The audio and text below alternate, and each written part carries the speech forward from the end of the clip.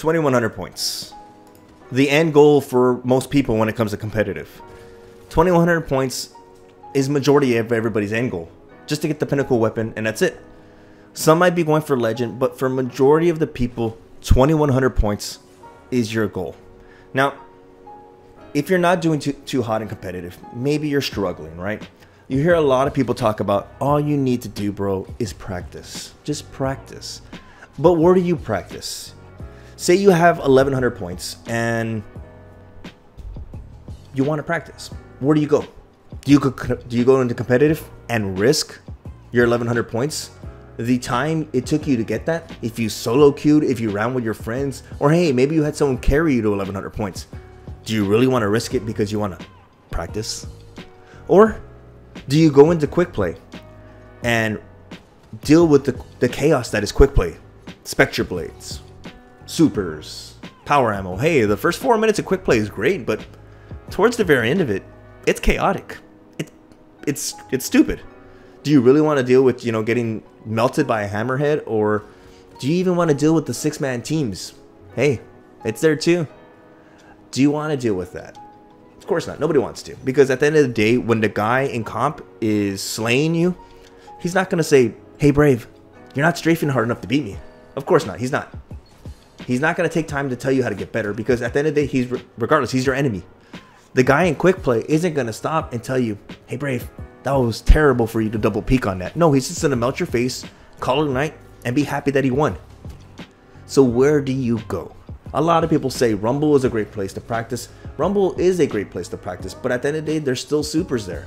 How do you control the chaos? How do you practice with a weapon? Maybe you want to practice with your Thorn. Maybe you're on console and you want to practice the recoil of the Thorn, but you can't because every time you go to quick play, you feel like you have to go 100% sweat mode. So where do you practice, right? So guys, I'm gonna let you in some insight here. This isn't nothing new. This is something I've been doing since Halo, Halo 2, Halo 3 back to the times when I was with my friends playing Lockout or playing Blackout, practicing to get better. Because when it came to ranked rather than social, in ranked, everything meant there. It was it was balls to the wall. You wanted to win. You don't want to risk anything. You don't want to risk one match because you know if you lost one, you'd have to win three or four more just to get that progress back. So you would go into private matchmaking. Now we're gonna go over just eight things that you guys can focus on when you go in private matchmaking. Well, Brave, I don't have 12 players to run with. I don't have eight players to run with. Well, you don't need that many players. You just need one other person and yourself if you just want to practice the basics. Now, a lot of people have clans. A lot of people have friends. Hey, your buddy who does nothing but the raid, I guarantee you he has impeccable aim. If he can slay ads that quickly, I'm sure he can give you a little some run for your money. But tell him, hey, come on, jump in some some, uh, some private matchmaking with me. So what I like about private matchmaking is the fact that you can number one, guys, control the chaos. If you tell your two other friends, maybe you're going to a rumble or 1v1v1, you're like, hey man, control chaos. No supers and no heavy. Strictly gunplay. That's all it is. Gunplay, you got your your primary, you got your special. That's all we're going to use. That's number one, guys. This is what I like about private matchmaking. Now, the second thing, you can practice your aim you can understand weapon recoil. Maybe you can't use certain weapons because the recoil is too great and you haven't had time to practice because when you do want to practice, you're in quick play. It doesn't happen. Maybe you want to practice the range or understand the range of your weapon or the damage drop off or practice your sniping through flinch. You can do that in private matchmaking. And number two, guys, for my console players out there, I see a 50-50 in the comment section. 50% of my console players saying, Brave, I can't use the Ace. It is unusable on console. It is unusable. You can't use the Thorn on console. You can't use the last word. It is unusable. Which it is possible to become proficient because I see the other 50% of console players saying, Brave, I I can use the Thorn. The Thorn is my is my go-to weapon. The last word is my go-to weapon. They are usable. Yes. Will you be struggling a bit? Yeah. Why do you want to struggle in quick play? Why do you want to struggle in comp? Struggle with your friends in private matchmaking and get better with it. Because yeah, you can take the easy road and go put on a 180, but I promise you, getting good with Big 3 will pay off in the long run. So number 4 guys, while playing private matchmaking, you can start understanding spawn points. If you're doing a 2v2 or a 3v3 and you wipe one team, your friends on one side of the map, they're gonna spawn on the other side of the map. Well, that's obvious, Brave. They're spawning on that side of the map. What does that do to me? Well, take a look like this. They're gonna spawn on that side of the map. They're gonna want to engage you. Do they just want to run straight uh, straight into your uh, your sight lines? Of course not.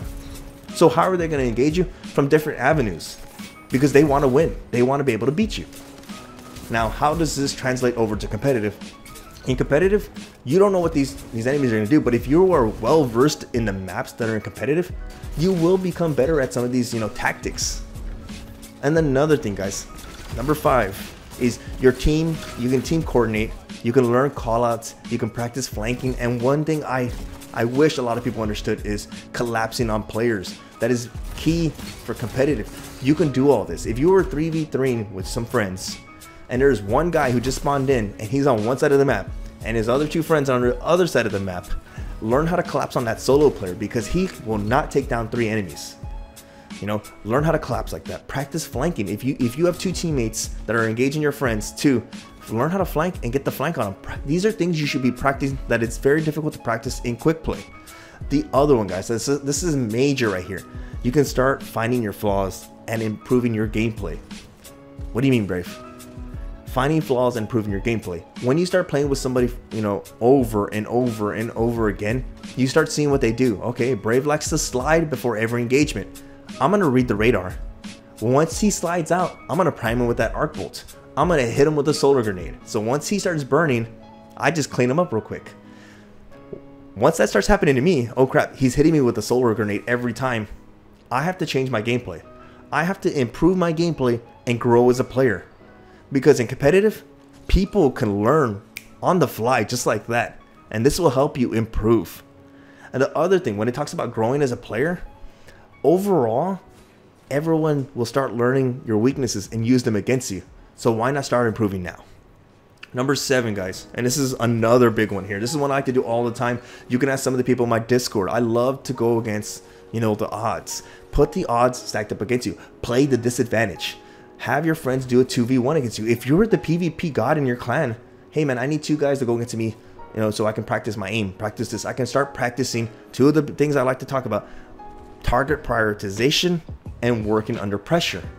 Now, sounds like, oh, that sounds like a lot of work. It's actually not, guys. Just have two of your better players go against you and you'll be able to focus. I'm telling you, it, it works really well. And how does this translate over to comp? In comp, you will be going against people who will 2v1 you because your teammates are busy on the side of the map. Maybe you're capturing zone A and two guys are pressing you.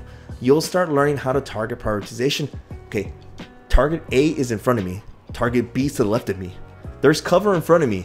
So I can I can just avoid target A for now and focus on target B or vice versa. There's a rock to the left of me. If I scoot up a little further, target B can't hit me. I can focus on target A. These are things you can start focusing on. And uh, guys, number eight, and this is really good here this is what I like about private matches. You can practice on competitive maps. This is where they all, you know, all kind of combine together, one through seven. Practice on competitive maps. You're not going to practice on maps you never see. You're going to practice on competitive maps. You can practice on competitive game modes. Learn spawn points on competitive maps. Learn how to take the disadvantage and play the disadvantage on competitive maps. Learn good sight lines on competitive maps. You see where I'm going with this? You can eventually overall get better play game modes. Yeah sure i can't do a i don't have eight people on. I can't do a 4v4 in Altar Flame but i can play a 3v3 a 2v2 there has been plenty of times that i've done 1v1s against my friends and i'm like you know what man? I'm gonna use the last word and a sniper. I'm gonna try to beat you. And he goes cool. He puts on his pulse rifle. Okay i gotta close the gap and do this and do that. You can make anything you want in private matchmaking and it'll eventually translate over to comp and hey if you end up getting better and better and better, you can thank me in the comment section. So I hope you guys found this video helpful. Again, these are things I do. I've been asked plenty of times, how do I practice with all the chaos happening in quick play? You know, how do I practice if I don't practice in comp? You know, because again, nobody wants to lose points. It's private matchmaking, guys. So I've been doing it since Halo. You know, it's nothing new. Any any good player can tell you that going against you know their better friends is by far the best way you can get become a better player. So if you guys haven't stopped by my streams, I've been streaming on the weekends. I've been taking just random accounts to 2100 points, just kind of, you know, doing it for a fun thing, putting on random weapons or, hey, I think this upcoming weekend I'm probably going to use an account with nothing but blues and greens and try to go to 2100 points. So if you guys haven't stopped by or dropped a follow, hey, my twitch.tv slash bravexhero do it guys. It's fun. We have a blast. We talk about a lot of things. You guys can see me you know do the disadvantage. You guys can see me win some games maybe lose some games. Majority this past weekend we've been having a blast. I think we've been winning almost like 85% of her games and I've been showing why. I'm doing this because of this guys or doing this because of this. So if you guys haven't, stop on by. Hope you guys found the video helpful. Let me know if you've been doing this or maybe, hey Brave, this is new insight to me. Thank you so much. I'm gonna try this out.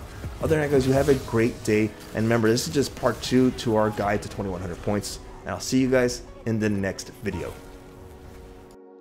Hey, did you enjoy the video? Click right there for a random video. Click right there for my latest video. Stay up to date with Brave X Hero. If you haven't followed me on Twitch, I recommend it. Go do it right now. Twitch.tv slash BraveXHero. New to the channel, subscribe button right there. Click it. Do it. Do it now. I'll see you guys in the next video.